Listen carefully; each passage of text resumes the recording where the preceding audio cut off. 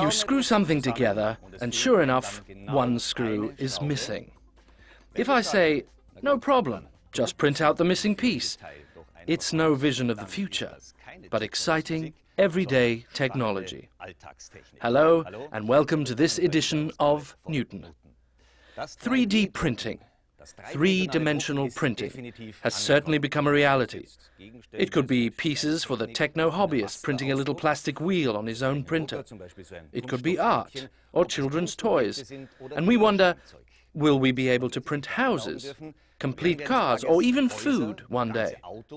The truth is, in medicine and industrial technology here in Austria, the 3D printer has taken on a very important role. eine ganz besondere Rolle.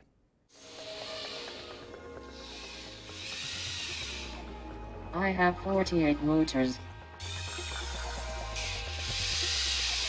I am only two months old. I got my legs in February. Most of my parts are 3D printed. Not 80% of Roboy, the most human-like robot of our time, has been created in a 3D printer. Developed in Switzerland, printed in Austria.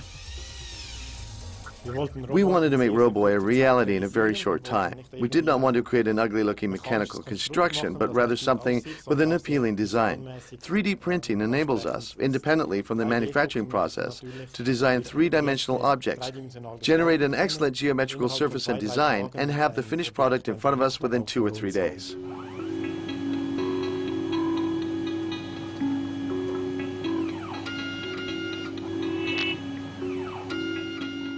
Here in a company in Dornbirn, they're printing the hand for Roboy at the moment.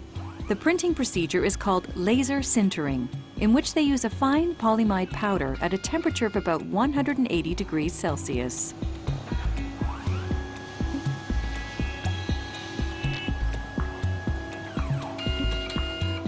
The laser melts the powder layer by layer.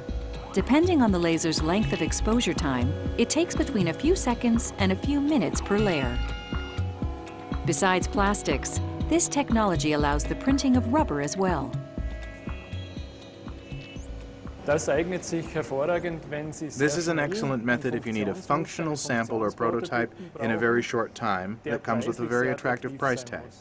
It is all possible, from a key to a casing, a pair of sunglasses. There's no limit to your imagination.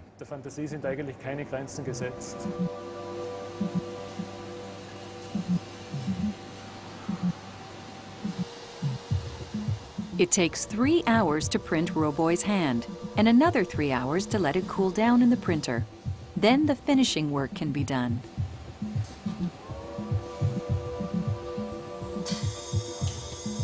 The hand was printed in one piece.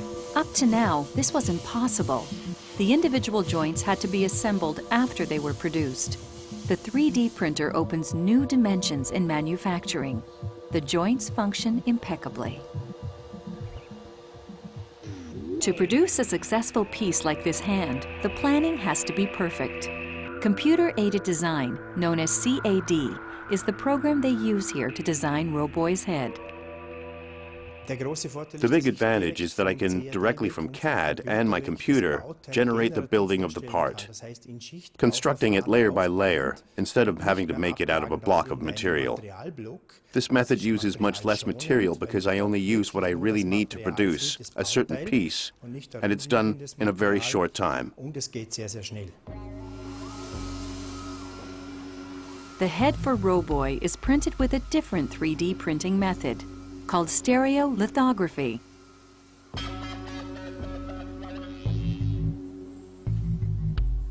The difference to laser sintering is that here we use a UV laser beam to harden an acrylic resin, which means the object we want to print is built from liquid resin. With this technology, it's possible to produce very exact transparent objects.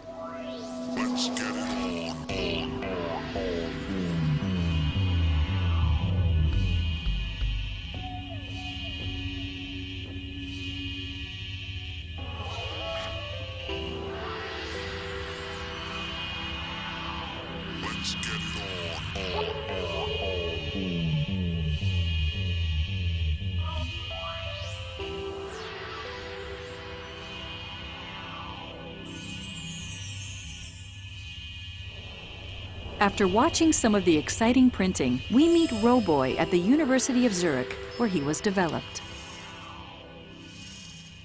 Hello, Newton team. I am Roboy. Hello, Roboy. During the greetings, Roboy is able to memorize the face of the person he meets. Two built-in cameras allow him to photograph people and run a face recognition when he meets them again. His anatomy mimics that of a human. He has artificial tendons and muscles.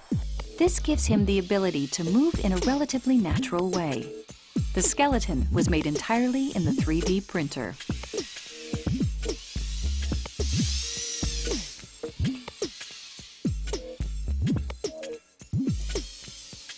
Not only does the anatomy of Roboy mimic humans, but his creation also reminds us of human beings. It took nine months. At this time, he is used as a study object to discover more about humanoid robots. In the long term, it is quite imaginable that a robot like this could work in the industry, taking over certain tasks, working directly together with humans. He could even take over tasks in care that are too difficult or cumbersome for humans. It's not only for high-tech projects, but also in the production of art that 3D printers are used. This muskox is supposed to be reproduced. The 3D scanner makes it possible. First, the body of the ox is grid scanned and measured by a laser beam, creating a computer image of it. The result is an exact image of the outside, comparable to a black and white photograph.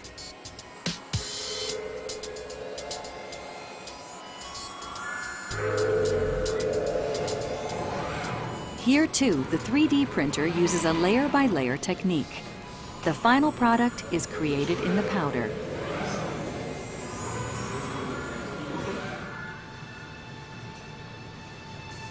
All leftover material can be used again for the next print.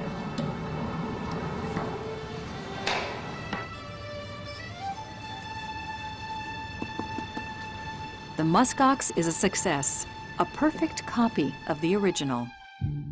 For artists, companies, and private individuals alike, the technology of 3D printing opens new dimensions in production. More and more prototypes will be printed first. This way, it is possible to test the functionality of a product and make adjustments before it goes into mass production.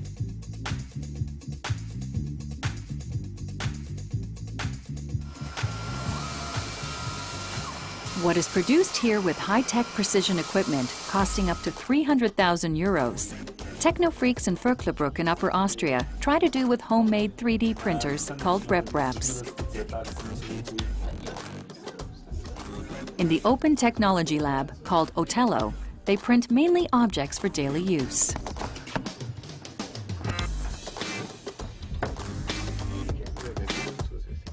So, for example, there's a new clamp produced for a broken cupboard door.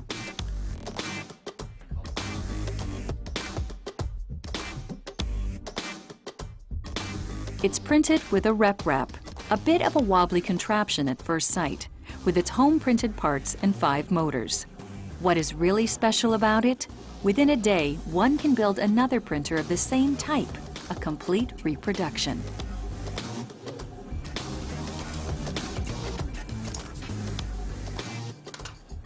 The clamp for the cupboard, done in just under an hour, and it fits perfectly.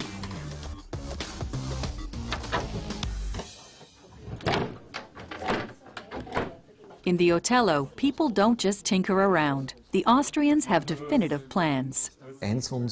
One of our basic ideas is that the wider use of 3D printing at this time is hindered by two things. Firstly, it's too costly, and secondly, its usability, how easy it is to use. For this, we have two strategies. One is the RepRap project, where people can build a printer for about 700 euros themselves, really bringing down the cost.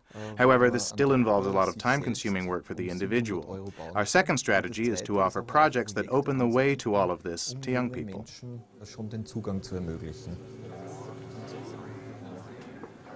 The members of the worldwide 3D printing community call themselves makers. The first 3D printer was made in the 1980s.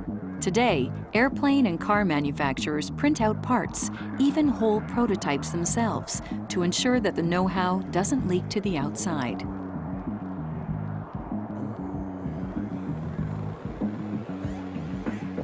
Urbee is the first car where the entire chassis was printed on a 3D printer. U.S. citizen Cody Wilson made headlines when he printed parts for weapons and offered the building plans on the internet. In the land full of people who love their weapons, it was a controversial use of 3D printing that created a lot of excitement.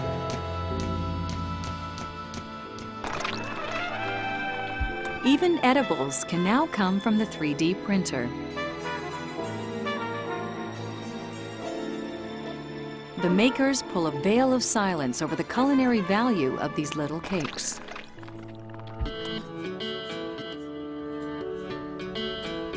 Nothing edible, but liquids are created by the students of the Technical University of Vienna. These substances are needed for very specialized 3D printers. The printing happens in the microscopic nanotechnology lab. It takes two to three months until these chemical compounds are ready. After that, they have to undergo testing. Especially important, the mix must be degradable and change during the printing process from liquid to solid state.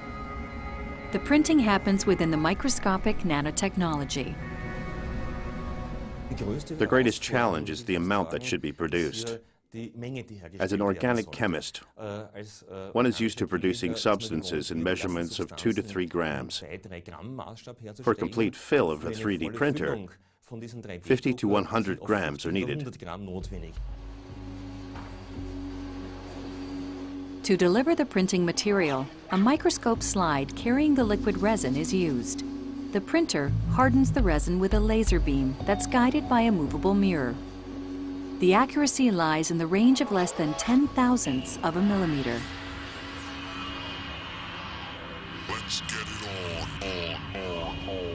The original is 137 meters high.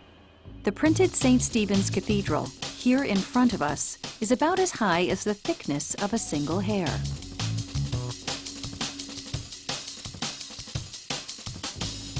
With the high precision of this two-photon lithography printer, sculptures can be produced that are not visible to the eye, but can only be seen under a microscope.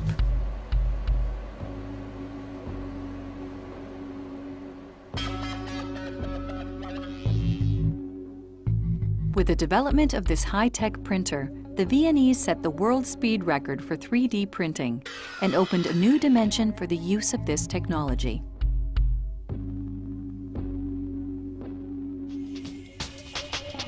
Already, the researchers at the Technical University print cell structures. In a not too distant future, it should be possible to produce different tissue types with a 3D printer.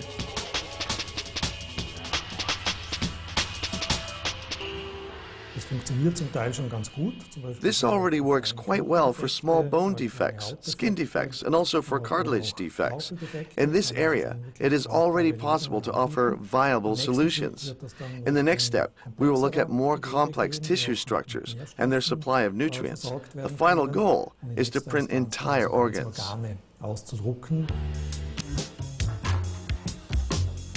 Werner Reichenfelser of the TU Vienna is working on 3D printing in the field of medicine as well.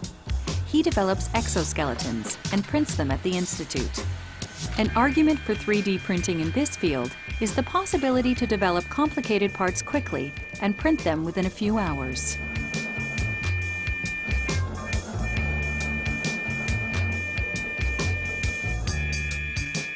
Before the production of every part, they're constructed on the computer in exact detail. A construction plan for the three-dimensional print is prepared.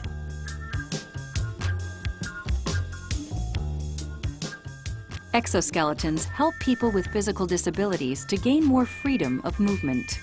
Should the prototype not fit, modifications can be made and printed again. In addition, it is possible that a technician can create parts that would not be possible or at least be very difficult to create with other manufacturing processes. Undercut edges and shapes that can only be produced with casting techniques. Here, the 3D printer is an enormous help for the designer.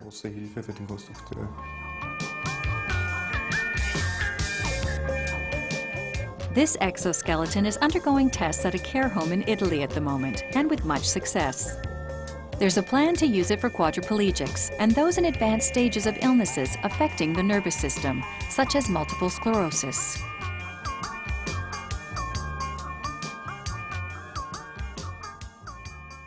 When it comes to 3D printing, some people are talking about a new industrial revolution.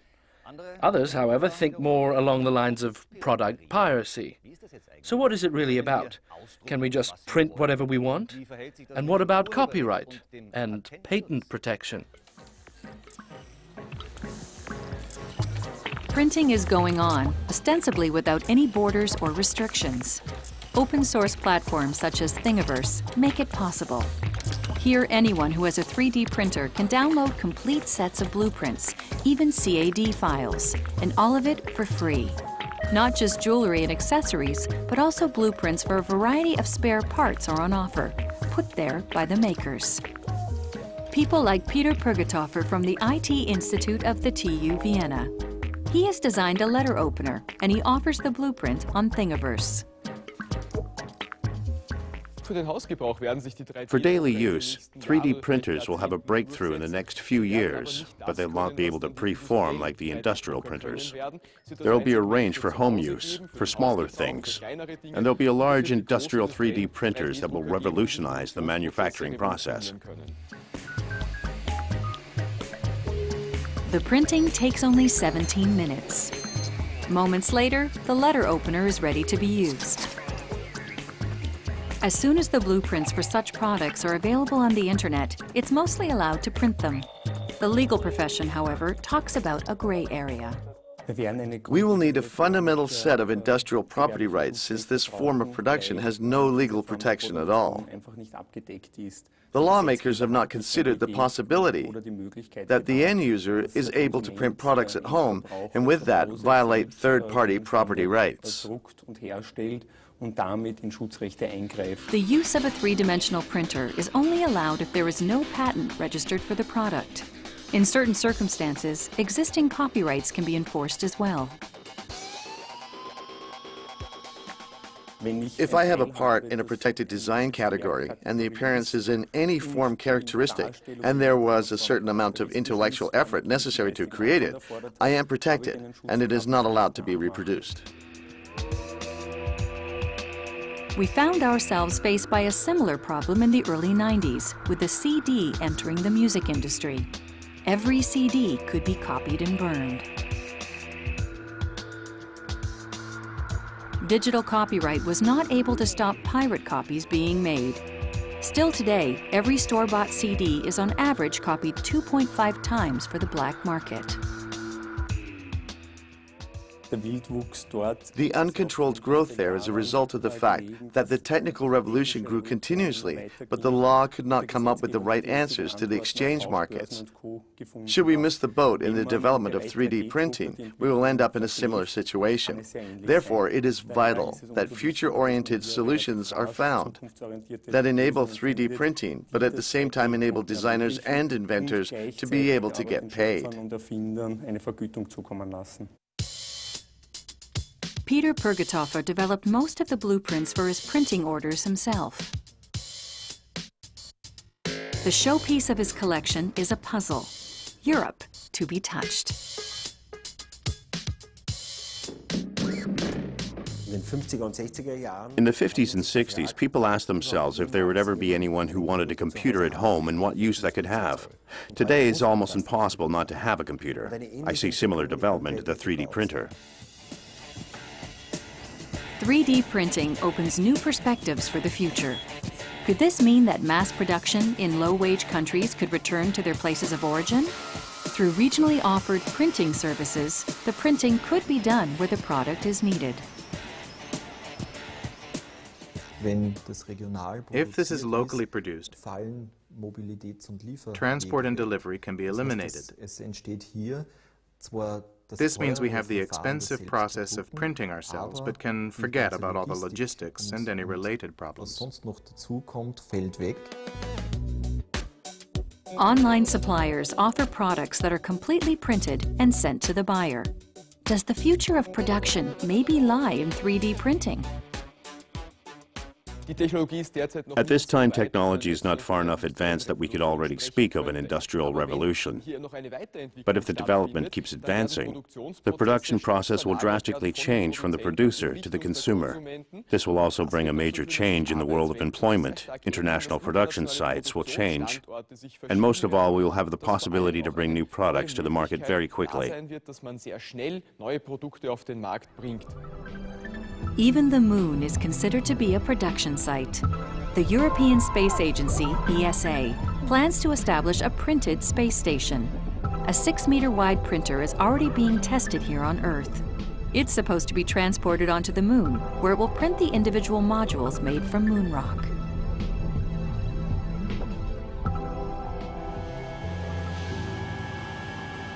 For now, however, 3D printers are best used for the production of prototypes, like Roboy.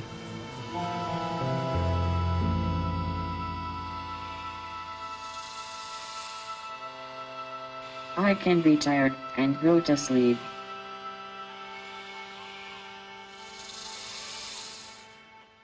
Well, maybe quite soon Roboy will stand here, in my place, in this studio. But a Newton presenter out of a 3D printer? I'm not so sure I like to think about this as a model for the future. If you'd like to get into the business of 3D printing yourself, for a device like that, you'll need to fork out about two to 3,000 euros. I look forward to welcoming you again. Until then, goodbye.